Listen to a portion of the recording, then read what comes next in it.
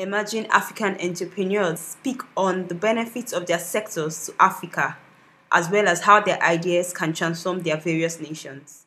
Yes, um, my company is called Kingsmen and Grace Wars Limited, and um, we believe that ICT is the next most important element as far as development of Africa is concerned.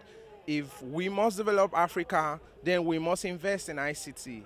And that is our motivation. And that's why we're providing solutions not just for the rich or for the few, but solutions for everybody. We're leveraging on the mobile phone and not just the smart mobile phone, any mobile phone. We're leveraging on any mobile phone that can make a call and send a text message and using that to provide financial solutions that will empower people, empower their business, empower their minds also, and of course create a lot of jobs for other enterprising Africans. And, and that's what we're doing. And so we're using ICT as a driver to push change, not just in Nigeria alone, but we're looking at going right into Africa. Um, in tourism and hospitality. Um, to be specific, I have an eatery restaurant based in Zaria, and uh, apart from the fact that um, everybody has to eat one way or the other, we look out for providing convenience for people. You know, we, our business is known as Smiley's Mobile Kitchen, and um, want to bring food to you at your convenience wherever you want it. Maybe your kids are at school, you need food to be delivered to them. We do that, events and all that. And then the fact that we can be able to employ labor, touch other lives is something huge. Yes, over time, my own idea of commodity trading, I will take cashew for example, was born from, from my quest. You know, it, it, it was born from the regrets the, the, the, the displeasure I feel when I see, you know, cash ag agricultural, agricultural commodities waste without us putting it, putting it into good use. That was where I got my inspiration from. And, you know, it's, it's, it, it's, it's an idea that is kind of multifaceted because, you know, apart from controlling the amount of agricultural waste that we're currently generating, it will also transform into, I studied the cashew value chain I studied the cashew value chain, the export of cashew to, to Asia, for, for example, close out the value chain, process it and vacuum pack and bring it back into Nigeria. And this is something we can do. We have whatever, all, all it takes. And I've decided, I've decided to take it upon myself to be the, be the, be the, be the leader, be the, the, the novel guy, the guy that will do the, the hard work, the guy that will do the groundwork, the guy that will do the run around to be able to close this value chain so that you know it will be it will be for us in Africa by us in Africa. So I hope that in the next 10 years as the catalyst has inspired us, I see I see an enormous company and I see my people from the community where I've decided to set up the the, the processing plant. I see people gainfully employed, people looking at what is Mother Earth is giving us and transforming it into something that could be traded in the international community. Well, the South Sudan market is very new, it's very small at the, at the moment. I'm into fashion entrepreneurship, and uh, I hope that I get to put South Sudan on the map when it comes to fashion.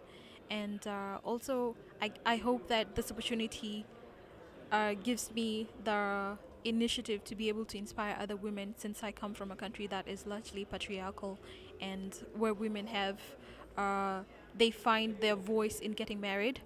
They don't see any value in themselves.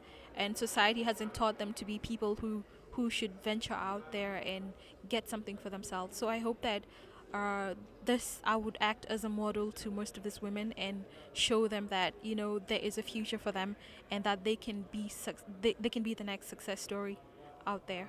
Oh, my business uh, idea is about uh, rabbit farming. Uh, my company is Divabits Kenya, and uh, what we do actually we actually produce rabbit meat products which are much healthier than the other meat common meats uh, like chicken or fish and meat and beef because rabbit meat has actually the highest protein levels and the lowest cholesterol and calories and fats. And nowadays, people are very uh, health sensitive and they want to eat more healthy products. So that's what we are going to do. And in addition, uh, we are going to be outsourcing this meat from uh, farmers. So we, we anticipate that we might work with 20,000 farmers to actually supply our meat demand. So and that will be empower farmers a lot of it. I am in both agriculture and manufacturing because I am making a cosmetic product, a natural cosmetic product from coffee.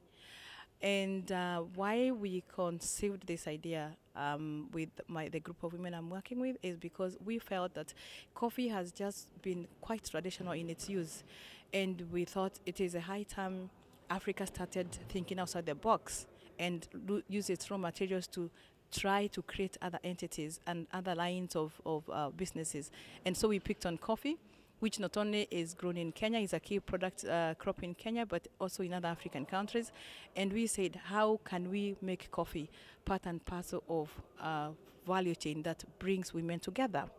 And so this product is actually going to look at how we bring women much closer to coffee by using it on their skin, because coffee has very beneficial uh, effect on the skin it heals scars, it has anti-aging properties, and the modern woman needs to be able to experience coffee not just through drinking, but also through using it on her skin.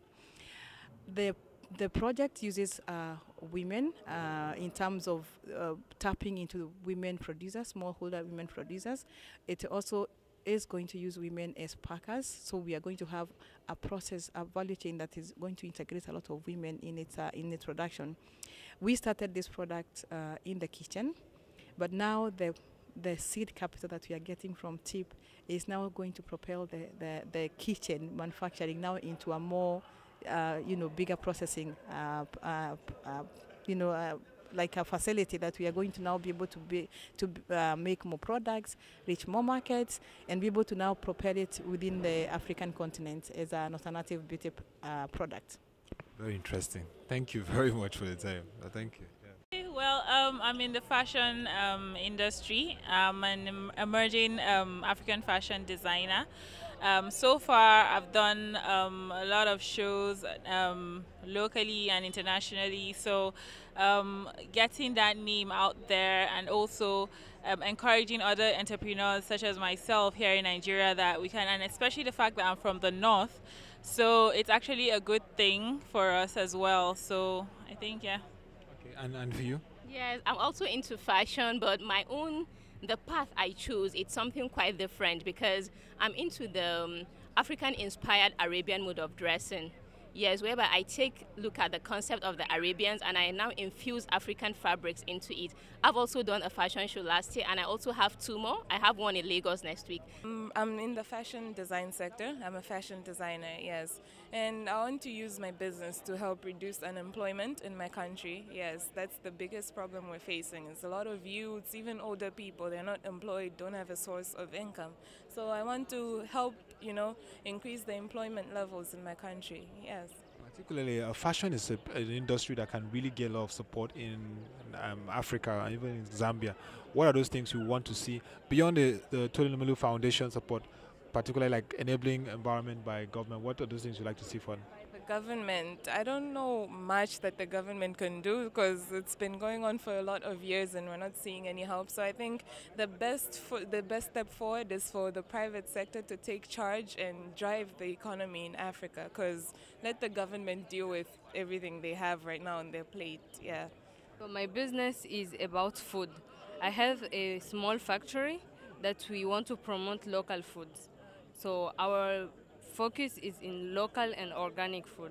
For the moment, I have, uh, I'm doing some juice and some snacks with uh, some local product that we have. We make some cheese chip chips with taro, potato taro, and we also do with plantains. But our idea is to promote all local food food that we have in Congo and all in DRC, like because they say the food is a culture. So my idea is to the food should not stay by eating, but to transmit a culture with food in the in all Africa. This is what I have like a, an idea. Okay, uh, I'm, I'm a chef. I'm a chef at the University. So what we do is actually uh, we're trying to open a small restaurant at the University of Ibadan. It's called Riches, and uh, what we do is actually create uh, exclusive meals for students in the university and uh, we don't sell the regular, um, regular meals you have around school because we know students get tired of eating the same food. So we bring in some new um, of cuisines, say some Chinese and um, some Italian dishes. So what we do is just you know train the students, employ and probably employ them, later employ them to become chefs. The in my line of duty, because I started as a TV presenter, I have met um, people that are undervalued, underskilled, and underpaid. And this is not their fault. It's because the institution they actually uh, went to was not fully equipped and apart from that, they, were, they weren't taught the hands-on experience, which is the field experience, which is most of all lacking in the industry. When I started the school, most of the students that came in, that was what they complained about. And the academy brought them that.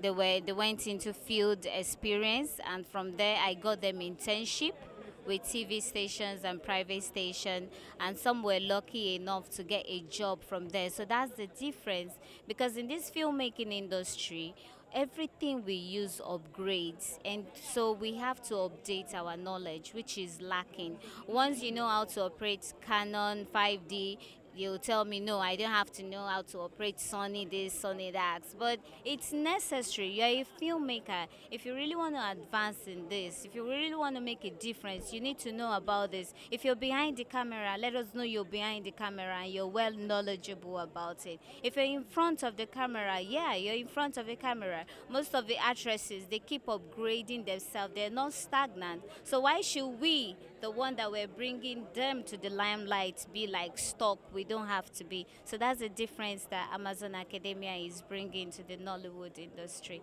And that is exactly what we actually need in the industry. I am in what i call errands concierge service sector we run errands. I represent Quick Errands Concierge Solutions Limited.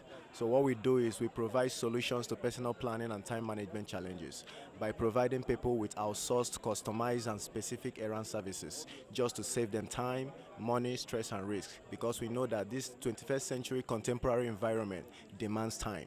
So our solution is kind of time based. So we try to help people by making things easier for them by running some certain kind of errands for them, you know, increasing their daily productivity and improving their overall, overall uh, uh, lifestyle? Well, I'm in the energy and power generation sector, and uh, my mandate is also to synergize with uh, what the Tony Elumelu Entrepreneurship Foundation has brought out as a master plan.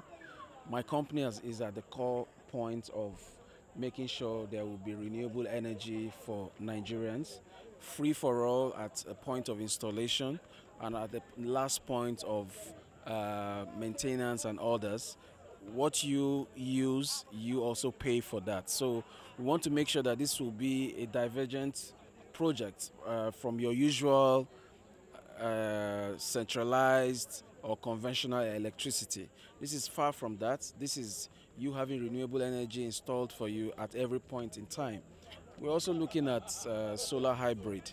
We have a project in Abuja at uh, Guzape district, and this is one of the first pilot projects that Nigerians can actually come and see how a green building can become efficient, reliable, and how it can generate electricity for as long as possible. So for me, I can say renewable energy, uh, this is the best time to harness the vast, exploit, uh, uh vast potentials that we have as a country far from the usual conventional electricity, which uses gas. And we know we have pipelines issues, we have gas shortages and all that. So Nigerians, over a population of 160, are also growing to a population of 170. So the point is, we need to build this critical infrastructure for Nigeria.